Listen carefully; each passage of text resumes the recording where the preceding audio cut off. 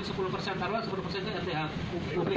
Solusi yang pertama uh, di awal kami sudah sampaikan bahwa minimal kalau Kota Depok tidak bisa menambah RTH baru minimal mempertahankan.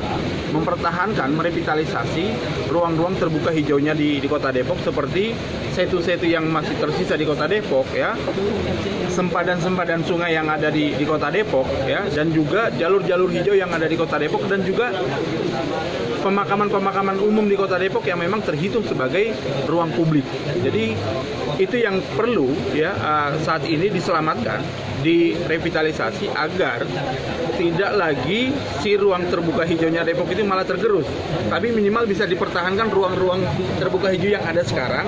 Jadi malah bukan malah uh, malah berkurang. Jadi minimal mempertahankan dan juga menambah.